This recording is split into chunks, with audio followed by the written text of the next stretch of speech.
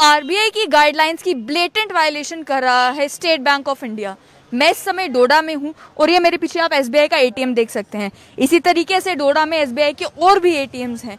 लेकिन उन एटीएम्स में एक दिक्कत है कि वहाँ आप कैश निकालने जाते तो ज़रूर हैं, लेकिन कैश वहाँ लोगों को मिलती नहीं है। अभी भी आप देख सकते हैं कि लोग यहाँ पर कैश निकालने के लिए आए हुए हैं, लेकिन यहाँ के लोगों की ये कंप्लेंट है कि हम जितनी भी बार जाते हैं अपने एटीएम कार्ड लेकर कि एटीएम से हम कैश निकाले। कैश वहाँ पर मौजूद नहीं होता और एटीएम आप देख सकते हैं कि कोशिश की जा रही है और उसके बाद कार्ड लेकर निराश होकर जो कस्टमर हैं बैंक के उन्हें यहाँ से वापस जाना पड़ता है। आरबीआई ने रिसेंटली एक गाइडलाइंस निकाली थी जिनमें ये कहा था कि आ, क्या आपसे जानना चाहूँगा क्या हुआ? कैश नहीं है उधर? नहीं। नहीं है। ऐसे होता है या ऐसे भी नहीं होता है? आपने सुना?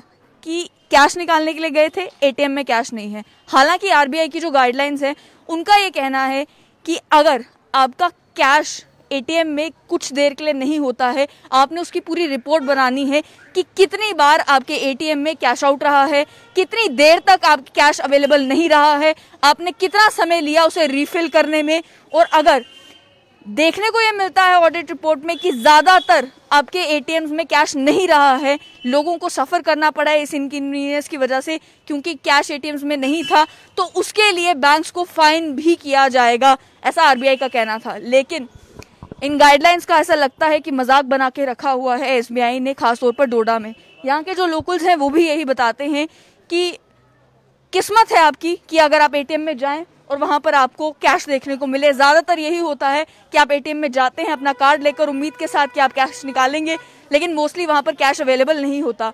और ये हाल केवल एक दो एटीएम्स का ही नहीं, बल्कि मेजोरिटी जो एटीएम्स डोडा में देखने को मिल रहे हैं, उन सभी में यही हाल है कि आप कैश निकालने के लिए जाते हैं और कैश वहाँ पर मौजूद ही नहीं होता। तो मुझे बताएँ एटीएम में कैश होता है यहाँ पे? नहीं नहीं होता है, नहीं नहीं होता है, नहीं होता है। ज़्यादातर नहीं होता कभी कभी होता मैंने इजमाया यहाँ पे एटीएम नहीं नहीं निकला इधर। किसी एटीएम में नहीं होता? नहीं नहीं इधर भी आगे भी देखा मैंने नहीं निकला। आज भी मैंने इजमाया कुछ ही नहीं। नहीं। नहीं है नहीं। पर कितनी परेशानी आती है इस वजह से कि आपको पैसे ही नहीं निकल। कहीं कोई मुझे मरीज़ होता है कोई हॉस्पिटल में जाना है ये वो तो हमारे इसमें कुछ ही नहीं होता है। अच्छा कभी कंप्लेंट की है बैंक भी की भी क्योंकि ब्रांच यहाँ पे कि आप एक एटीएम में पैसे ही नहीं होते? हमें कोई कंप्लेंट नहीं की पूछा नहीं हमें किसी ने। लेकिन ज़्यादातर जितनी बार भी आप आते हैं कैश नहीं होता। नहीं होता। नहीं नहीं होता। आप सुन सकते हैं कि डोडा के निवासी भी ये बताते हैं कि लंबी लंबी लाइनें ज़रूर लगती हैं एटीएम के बाहर क्योंकि एटीएम्स की कमी है।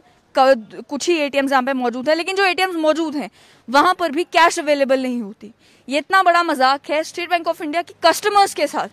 क्योंकि बैंकिंग का सबसे कोर अगर सपोर्ट कोई होता है तो वो कस्टमर होते हैं। और अगर आप अपने कस्टमर को प्रॉपर सर्विस नहीं दे पा रहे, साथ ही में आरबीआई की गाइडलाइंस की भी वायलेशन कर रहे हैं तो ज़रूरी है आप तक ये दृश्य पहुंचाना कि आपने एटीएम्स तो यहाँ पर खोले हैं, लेकिन जब इन एटीएम्स का इस्तेमाल ही कोई नहीं कर पा रहा तो इसका फ़ायदा आखिर क्या?